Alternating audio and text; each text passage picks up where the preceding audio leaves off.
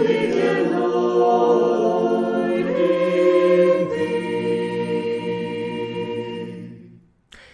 morning. Welcome to Motivating Monday, brought to you by the Jurong Church of Christ. My name is Paul Go, and I'm glad that you've tuned in to this morning's episode. Today, I'll be sharing about the idea of fearing the Lord, taken from the perspective in the passage recorded in 2 Kings 17 24 to 41. The background is that Israel, the northern kingdom that is, had fallen to the Assyrians and exiled from Samaria. In place, the Assyrians brought captives from Babylon, Cutha, Ava, Hamath, Sepharvaim to settle in Samaria, as we read in 2 Kings 17:24. And as the account goes, God sent lions among them and slew the heathen nations. Subsequently, a priest of Israel was brought in to teach the heathen how to fear the Lord. Yet it seems that they have their own ideas. We read in the account in 2 Kings 17:29. Howbeit every nation made gods of their own and put them in the houses of the high places which the Samar- Samaritans have made, every nation in the cities wherein they dwelt. And later on in verses 33 and 34. They feared the Lord and served their own gods, after the manner of the nations whom they carried away from thence. Unto this day they do after the former manners. They fear not the Lord, neither do, do they after the statutes, or after their ordinances, or after the law and commandment which the Lord commanded the children of Jacob, whom he named Israel. So, did the heathen fear or not fear the Lord? A quick examination of the Hebrew words reveals that the two occasions use different words.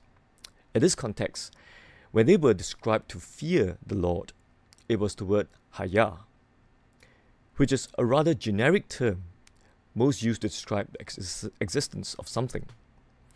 While when they were described to fear not the Lord, it was the word yare, which is the word that specifically describes reverence to God. Thus, it, it would appear that their fear was merely an acknowledgement of the existence of Jehovah, just as they would to their own idols. Certainly reminds us of what Paul wrote of the Athenians in Acts 17 21 to 23, who were so afraid of offending any god that they would even have an altar dedicated to the unknown God. even Singaporeans as not as kiasu.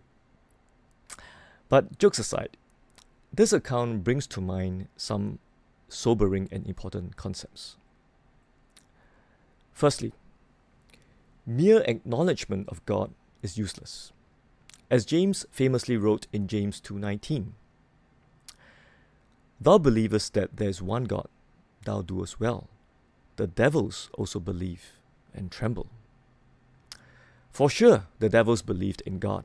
In fact, believed in only one God and trembled, more so than men and that God is the same Jehovah that we serve today.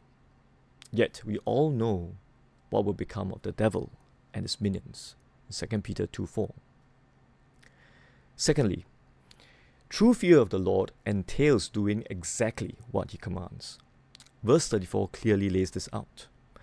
They fear not the Lord, neither do they after their statutes, or after their ordinances, or after the law and commandment of which the Lord commanded the children of Jacob, whom he named Israel. As we all well know what Jesus said in John 14 15, If ye love me, keep my commandments. The heathen obviously were not interested in truly serving the Lord. Or perhaps they thought they could proxy their service to their idols. We recall how the Philistines tried to appease God when they sought to deliver the ark back to the Israelites, as we read in the account in 1 Samuel 6.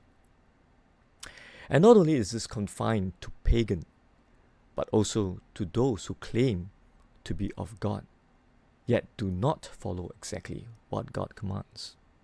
Otherwise, the Apostle Paul would not have spent so much effort to preach against that among the churches.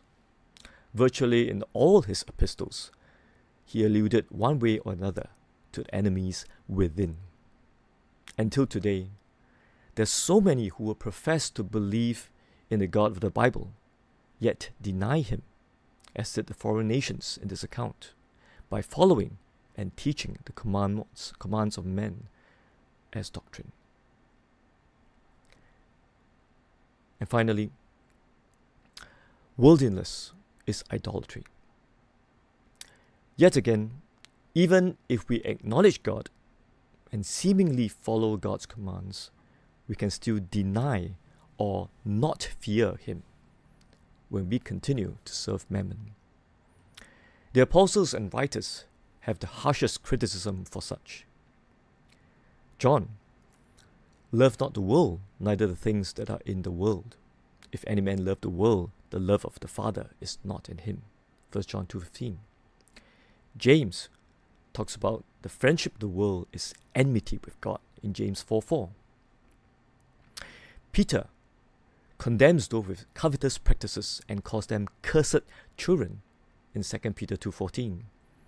And later further down in the chapter, the worst state of those who are again entangled in pollutions of the world.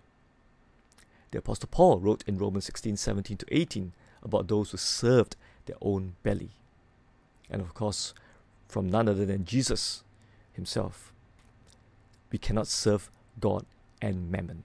Matthew 6 24. Perhaps for this week, let's take a moment to examine how have we not feared. Perhaps it's our own failings. Perhaps we have not been doing the work of the Lord as we should.